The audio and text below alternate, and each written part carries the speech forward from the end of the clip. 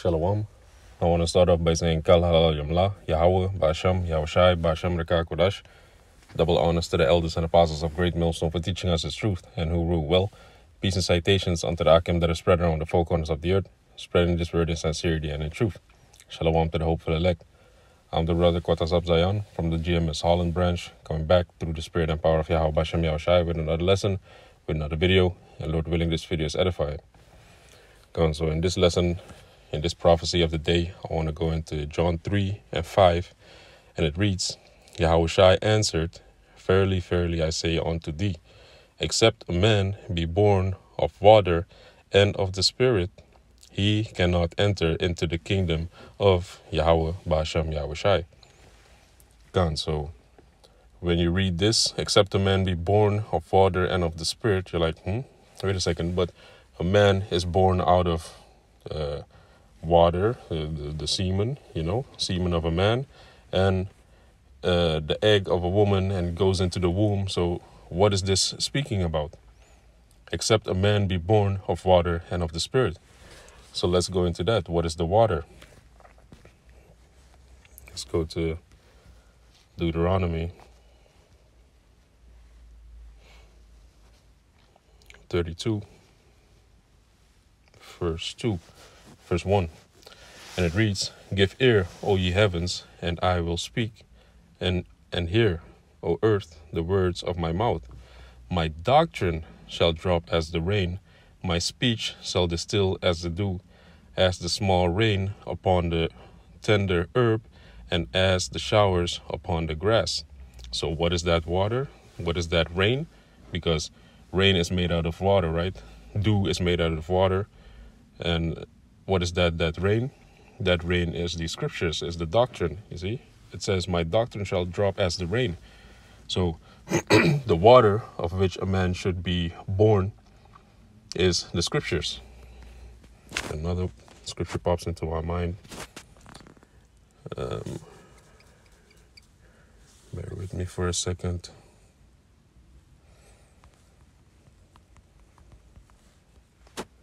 This is Psalms 119, verse 9. And it reads, Wherewith, wherewithal shall a young man cleanse his way? By taking heed thereto according to thy word. So the word is something that cleanses you, just like how water cleanses you. You see? So going back to that scripture, John 3 and 5, it says, Except a man be born of water except he be cleansed with the, doc- the doctrine and with the word of Yahweh Yahushai, he cannot enter into the kingdom of heaven. You see? So now, the second part was, except a man be born of water and of the Spirit. So, what is the Spirit?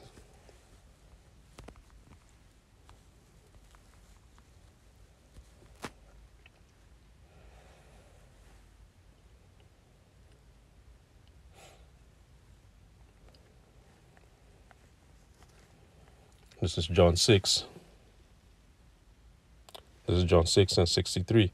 It is the spirit that quickeneth, the flesh profiteth nothing. The words that I speak unto you, they are spirit and they are life. So the spirit quickeneth, which that word quicken goes into revive, to make alive, you know. And the flesh profited nothing. Can't because I was making the comparison the how does a, is a man being born? He's being born from semen from uh, you know and from the egg of a woman goes into the womb. So that creates flesh but the flesh is not going to profit you. The spirit is going to profit you which the spirit what does it say? The words that i speak unto thee they are spirit and they are life you see? So the doctrine and the doctrine is the water and the spirit is also the, the words that Yahweh Shai speak it's, it's, it's the same. The scriptures, they are going to lead unto everlasting life. That's how you are going to enter into the kingdom of heaven. You see?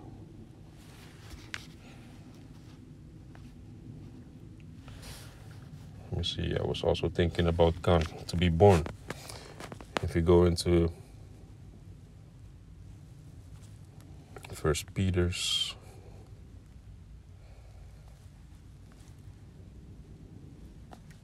was it Second Peter's?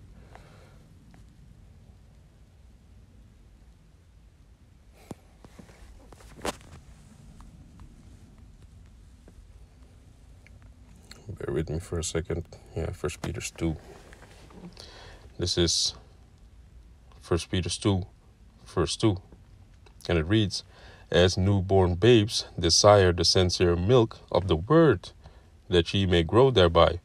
So when you are being born, you are also uh, newborn. You are just like a newborn. You know, you're soaking everything up, soaking uh, scriptures up just like milk. So you got to start with the milk scriptures. You got to start with the the things that are not too hard to understand. You see, you shouldn't go in depth into um, the beast and and uh, the ten dragon and the ten horns. You know, uh, the the harlot, things like that. No, man, you have to start with the milk scriptures first. You see, that's how you are being brought in this truth as a newborn babe. You see, and you can't enter into the kingdom of heaven unless you be reborn. Because these, uh, how do you call it? These Christians, they always say, "Are you reborn? I am reborn."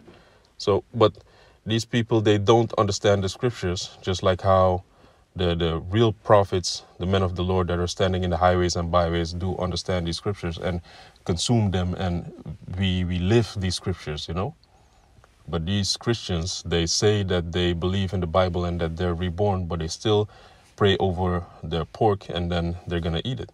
You know, if you believe in this word, if you believe in this doctrine, then you are gonna do the best what you can to keep the law, statutes, and commandments because that's seeking righteousness of the Most High. And ultimately, of course, the laws are not going to save you.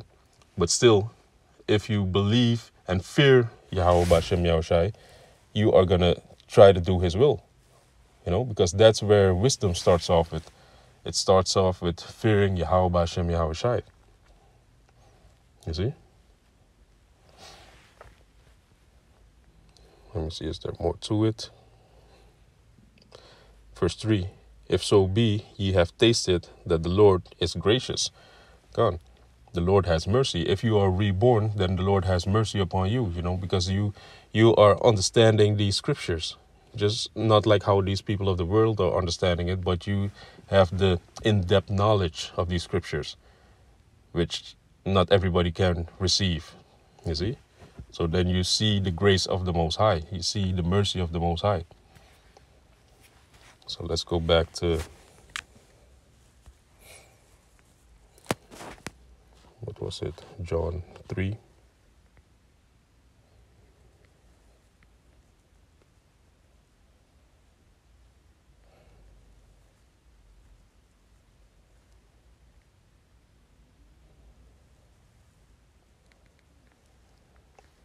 Hmm.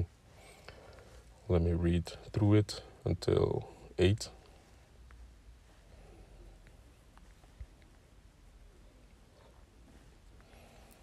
This is John 3, verse 1, and it reads, The new birth. There was a man of the Pharisees named Nicodemus, a ruler of the Jews. The same came to Yahushua by night and said unto him, Rabbi, we know that thou art a teacher come from the Most High. For no man can do these miracles that thou doest, except Yahweh, Bashem Yahushua, be with you. Yahushua answered and said unto, thee, unto him, Verily, verily, I say unto thee, except a man be born again, he cannot see the kingdom of Yahweh Bashem. Nicodemus said unto him, How can a man be born when he is old, and he enter the second time into his mother's womb, and be born? Yahushua answered, Verily, verily, I say unto thee, except a man be born of water and of the Spirit, he cannot enter into the kingdom of Yahweh Bashem Yahushai. That which is born of the flesh is flesh, and that which is born of the Spirit is spirit. Marvel not that I said unto thee, Ye must be born again. God, so now you understand what it means to be born again. You know, I went into uh, the, the scriptures that show you that you are being um, cleansed by the word, you are being quickened by the spirit, and you are you are like a newborn babe, you know, washing away the filth of this world and consuming and, and taking the doctrine of the Most High, you know, beginning with the milk scriptures. So, verse 8 the wind knoweth, the wind bloweth where it listeth, and thou hearest the sound thereof, but canst not tell whence it cometh, and where the it goeth. So is every one that is born of the Spirit. Gone. So the Spirit leads you where the Spirit leads you. You see, you have to be in tune with the Spirit because the scripture says, roughly paraphrasing in the book of uh, Quench, how do you write? Quench.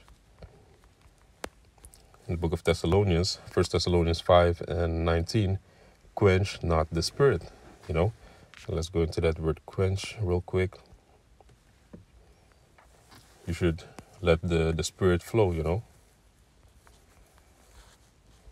To quench. Middle English, quenchen, to extinguish, put out. You see, don't put out the Spirit. Heat, light, fire, also desire, lust, thirst, also figurative, to bring to naught. You see, bring to naught, bring to nothing. You know, diminish the spirit. You shouldn't diminish the spirit. You should feed the spirit. You should go with the spirit, flow with the spirit. That's why also you should um, keep the law, statutes, and commandments of the Most High, because the Scripture says, in a malicious body, in a malicious soul, the the Most High, wisdom cannot dwell. You know, because wisdom comes from the Most High, and if you're uh, defiling your, your body, you're defiling your temple, then it's gonna cause an error. You know, the spirit is not gonna be able to sup with you and be in your body and guide you and lead you. You see,